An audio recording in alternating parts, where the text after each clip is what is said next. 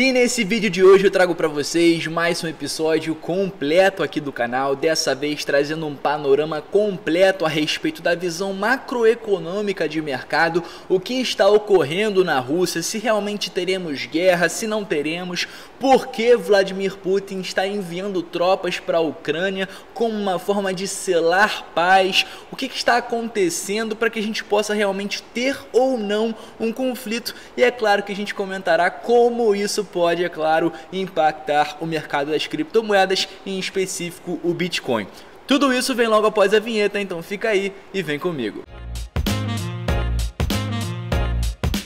Fala família, sejam todos muito bem-vindos a mais um episódio da Liga Cripto. Se você é novo por aqui e ainda não me conhece, muito prazer. Meu nome é Bruno e como prometido nesse vídeo de hoje passaremos uma visão macroeconômica a respeito de mercado, comentando toda essa situação que está ocorrendo na Rússia para que você possa entender o que realmente está por trás de toda essa guerra, né? O contexto histórico envolvendo geopolítica, envolvendo economia e outras coisas também que, claro, estão impactando para que possamos Ou não ter uma guerra envolvendo Rússia, OTAN, Estados Unidos, Ucrânia, enfim. Bom, para a gente começar esse vídeo, vou responder uma das dúvidas mais frequentes da comunidade, que é justamente por que tamanha volatilidade dentro do mercado cripto, e não só no criptomercado, como também em outras bolsas mundiais, a bolsa russa, a bolsa americana, né, e outras bolsas pelo mundo também tendo uma certa volatilidade nos últimos dias, muito por conta dessa possível guerra, né, todo esse momento de tensão, o mundo inteiro acompanhando acompanhando esse evento, que claro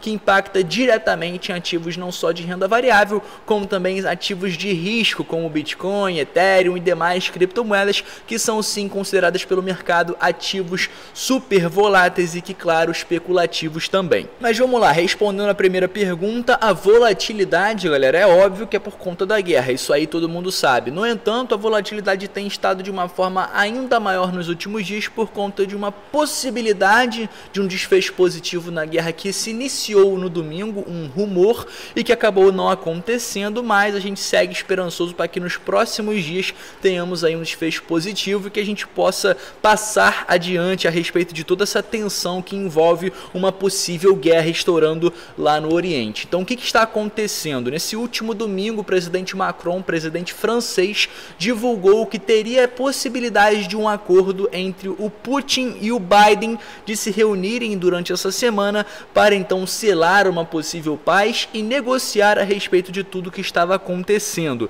Com esse possível desfecho positivo, onde uma reunião acalmaria os ânimos de todos aqueles envolvidos, nós tivemos então o Bitcoin voltando a ser cotado a 39, quase 40 mil dólares, as bolsas amanhecendo na segunda-feira com certo desempenho positivo, mas isso tudo não durou muito tempo, porque também na manhã do dia seguinte, na segunda-feira, foi divulgado pelo governo russo que esse acordo era de certa forma precipitado e que a Rússia ainda não estava pronta para negociar, o que novamente fez com que não só o mercado das criptomoedas, como demais mercados de renda variável tivessem novamente uma queda e tivessem novamente aquela volatilidade aflorada. Agora, uma outra coisa que é muito importante a gente comentar é realmente o que está acontecendo. Para você que muito possivelmente não está ligado em todo esse conflito, em toda a história que envolve essa possível guerra, vou trazer de uma forma bem rápida rápida e sucinta para que você possa entender mais ou menos o que está ocorrendo e o porquê a Rússia está realmente enviando tropas para a Ucrânia como uma forma de então tentar selar a paz. É o seguinte, esse mapa que eu trouxe para vocês aqui, em pontos azuis nós temos as tropas da OTAN, que claro, são aliadas aí dos Estados Unidos e que estão tentando trazer a Ucrânia para dentro da OTAN, né? essa organização aí de diversas nações. E nós temos aqui em pontos vermelhos as tropas russas,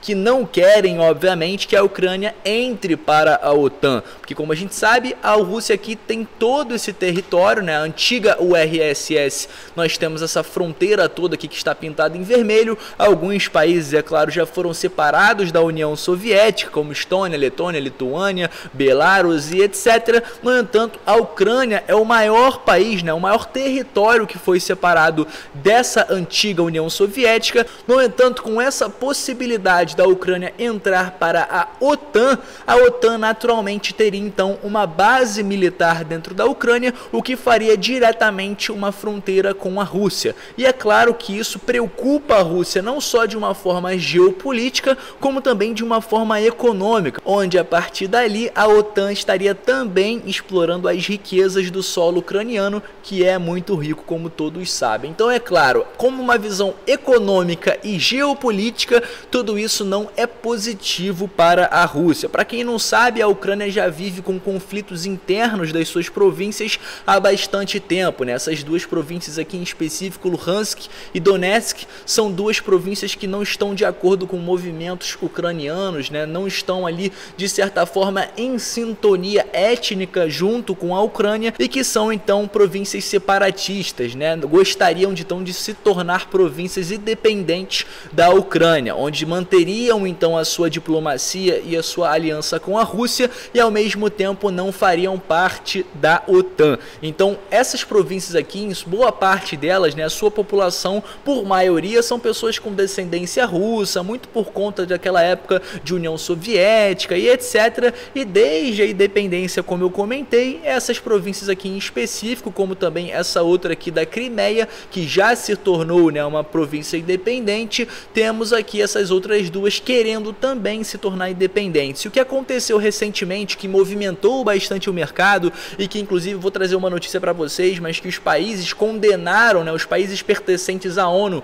condenaram né, os movimentos russos, que o que eles fizeram foi o seguinte, eles enviaram tropas para dentro dessas províncias que desejam ser províncias independentes, nessas né, províncias separatistas, que desejam se separar da Ucrânia, e com todo esse movimento de enviar tropas para essa província, o mundo inteiro identificou esse movimento da Rússia como um possível movimento de ataque, né, para ocupar essas fronteiras, onde na verdade o que a Rússia estava fazendo era um movimento de defesa e também de apoio a essa possível independência dessas províncias separatistas. Então o que eles estavam fazendo era certificar de que essas províncias não estariam então futuramente fazendo parte da OTAN e também, claro, unindo o útil ao agradável. Se essas províncias já tinham esse desejo de se tornar independentes e se desvincular da Ucrânia, a Rússia foi lá e apenas mandou um decreto também enviando as suas tropas que também apoia esse movimento separatista. E é claro, o que se resume essa guerra? Basicamente, essa guerra se resume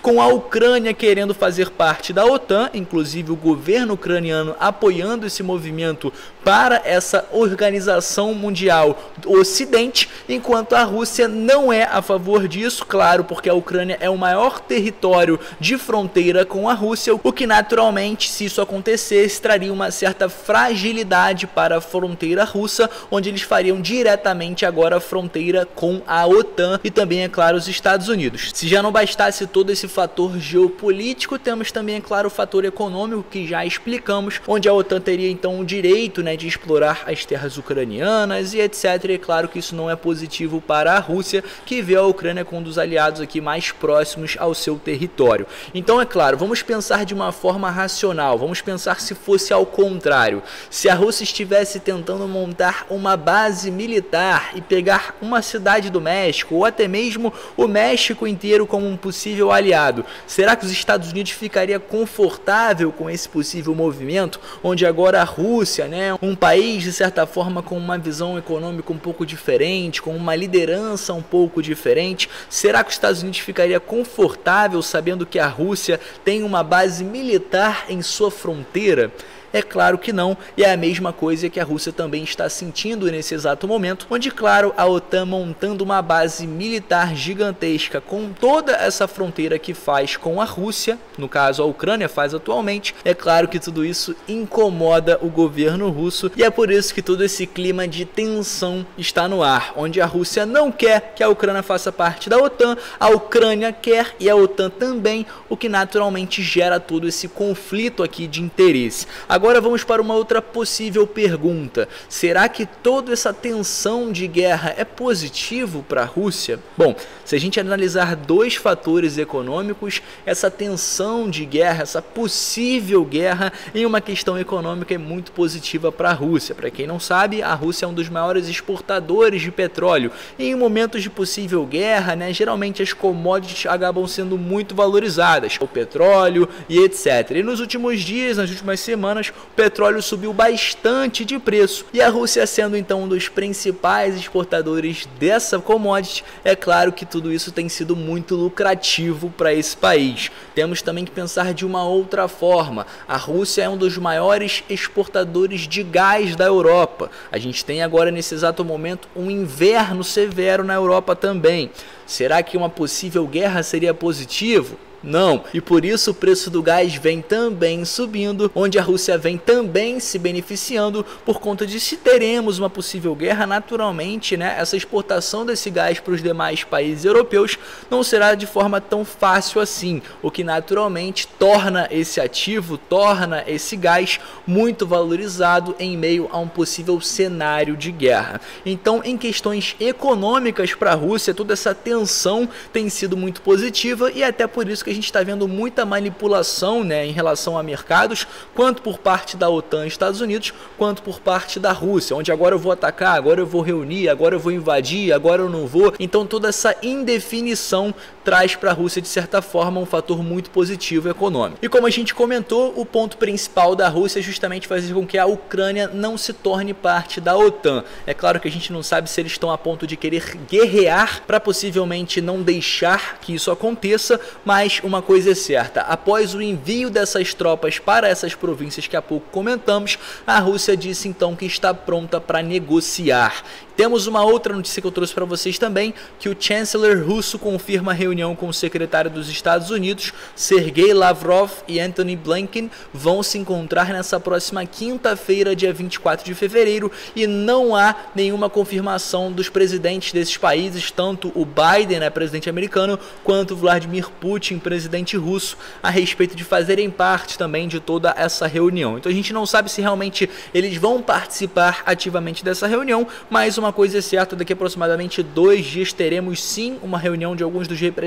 desses países para que possamos né, ter uma ideia do que vai ocorrer nos próximos dias e se teremos então um desfecho positivo e sem guerra ou então se teremos um desfecho um pouco negativo e claro estourando uma grande guerra dentro da Ucrânia onde a Rússia não vai deixar a Ucrânia se tornar parte da OTAN e a OTAN vai querer então guerrear com a Rússia para tentar fazer com que a Ucrânia tenha o seu próprio direito né, e possa escolher o que bem entende fazer. Bom, eu vou me despedindo por aqui. Esse foi o nosso episódio de hoje. Eu expliquei para vocês de uma forma rápida, em apenas alguns minutos, em uma versão simplista, o que está ocorrendo em relação a todo esse cenário macroeconômico que tem impactado diretamente o mercado das criptomoedas. E é claro que ele ainda segue indefinido para os próximos dias, onde teremos que aguardar o fechamento dessa reunião nessa próxima quinta-feira. Então, muito possivelmente já teremos algumas respostas para o fim dessa semana e é claro que até lá a volatilidade não só no mercado das criptomoedas,